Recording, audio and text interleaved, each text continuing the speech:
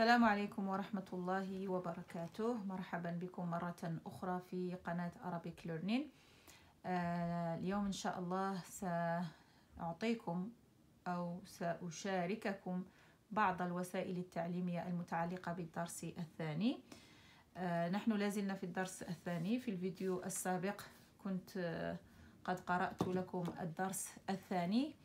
فاليوم إن شاء الله قبل أن أبدأ سأذكر بأهداف الدرس الثاني. أول هدف هو أن يفرق الطالب بين الحرف المفرد والمركب وأن شكل الحرف يتغير على حسب موقعه في الكلمة في الأول والوسط وآخر الكلمة مثل حرف الهاء أو حرف الكاف وباقي الحروف.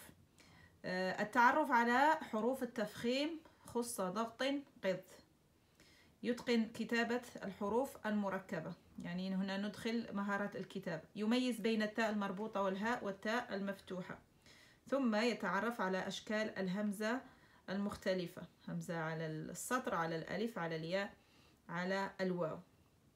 فهذا فيما يخص أهداف الأهداف المتعلقة بالدرس الثاني التي يجب أن نراعيها عندما ندرس الدرس الثاني.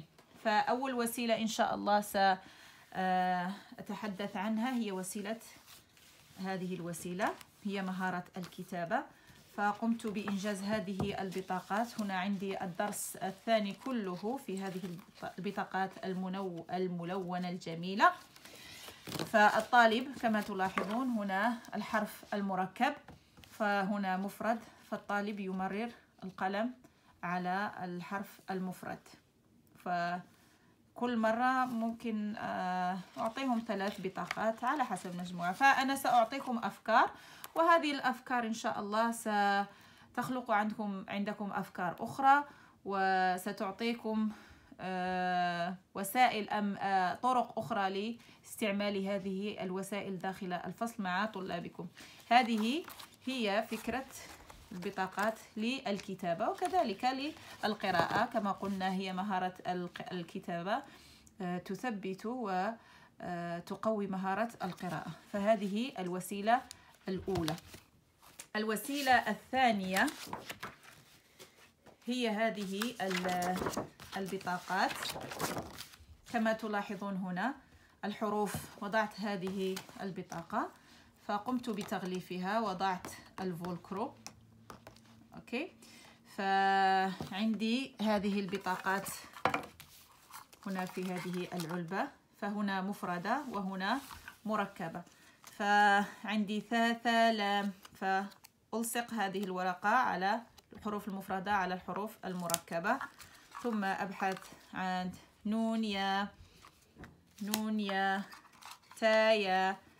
فممكن المعلمة أن تقوم بهذه المهمة مع الطلاب أو أن تترك لهم يعني المجال في مساعدة بعضهم البعض في القيام بهذه المهمة. تايا.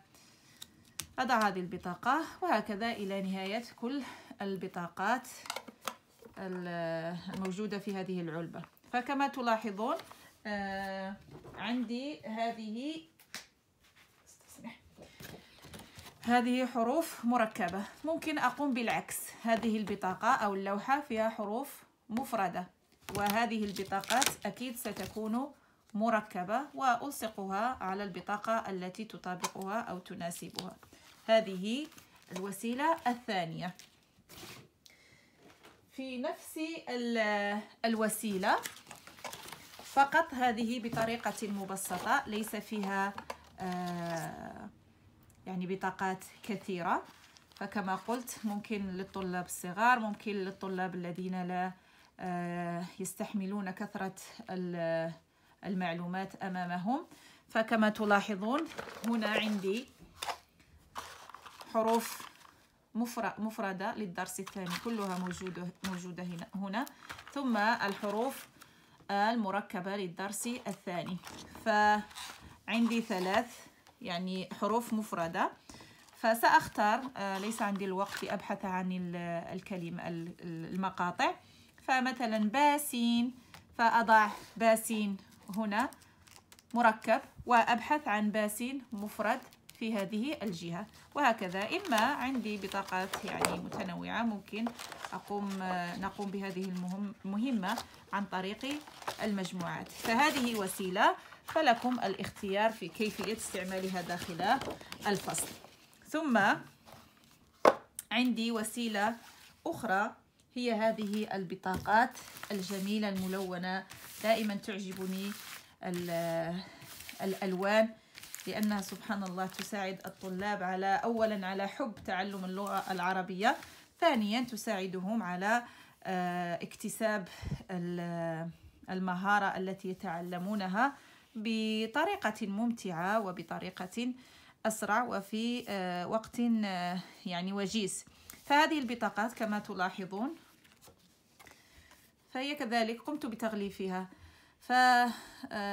فصدقوني هذه الوسائل أكيد تحتاج وقت طويل تحتاج آه، مال لكن يعني ستستمر معك لمدة عشر سنوات. آه، ولا تنتظروا من المدرسة أن تعطيكم مصاريف هذه الوسائل التعليمية. فاحتسبوها صدقة جارية. والله سبحانه وتعالى هو الذي سيجازيكم على هذه الصدقة. وسترون ثمار هذه الصدقة وأنتم تشتغلون مع آه، أبنائكم وطلابكم داخل الفصل. فقلت هذه البطاقة. هو حرف مركب لكن هنا وضعت الحرف المفرد. فمع التمرين مع الممارسة فالطالب يتعود على معرفة شكل الحرف في أول الكلمة في وسط الكلمة في آخر الكلمة. فطريقة استعمال هذه البطاقات ممكن أن أقلب البطاقات. أكيد هذه بطاقات لا تمثل كل لا تمثل الدرس آه، الثاني بأكمله لكن هي بعض البطاقات هنا. فقلت نقلب هكذا البطاقة. وكل طالب يقوم برفع البطاقة فيقرأها يقرأ صاد عين. أو ممكن أعطيهم أعطيهم يعني بطاقة قلائل. ثم آه، أنادي على البطاقة صاد عين وهم يبحثون. فصاد باء لا هذه ليست البطاقة التي أريدها.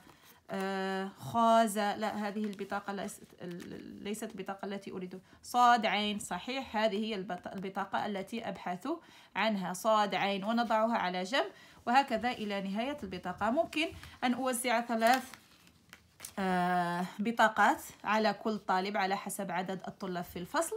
ثم أنادي على البطاقة ويقوم الطالب إلى السبورة ويقرأها حتى نخلق جو النشاط والحيوية داخل الفصل ونشجعهم على آه، يعني حب تعلم اللغة العربية ودائما يكونوا يكونون متشوقين للحضور لحصة اللغة العربية. فهذه وسيلة أخرى آه عندي وسيلة أخرى كذلك. فهي عبارة عن ملصقات فقمت بإنجازها. فهذه حروف مركبة ممكن أن أهيئ ورقة عادية وأعمل تغليف ثم أضع الحروف المفردة والطلاب يقومون ب يعني الملصق ويلصقونها في المكان الذي يطابق الحرف نون با لا بطريقة بطريقة الحروف المفردة. فهذه وسائل تعليمية. آه هناك وسيلة أخرى هي قمت بها بيدي. لا لم أستعمل الحاسوب. ف آه، الفكرة هي فكرة الإبداع. أحيانا لا تكون عندي هذه الأوراق الملونة. آه، لا يكون عندي وقت لاستعمال هذه أو الاشتغال على هذه الأشياء بالحاسوب. لكن ممكن أستعمل القلم بطريقة يعني تقليدية. ولكن آه، سبحان الله يعني هذه الأفكار يعني تشجع الطلاب كما قلت على التعلم. فكما تلاحظون أخذت ورقة ووضعت حروف مفردة وحروف مركبة مثلا يا تانون فالطالب يبحث عن المقطع المركب الذي يطابق يا تانون ويلونه بنفس اللون هذه آه، يعني طريق وسيلة بسيطة متواضعة. وماذا آخر؟ آه فهذه هي الوسائل التعليمية المتعلقة بالدرس الثاني. جزاكم الله خيرا. دمتم في رعاية الله وحفظه. والسلام عليكم ورحمة الله وبركاته.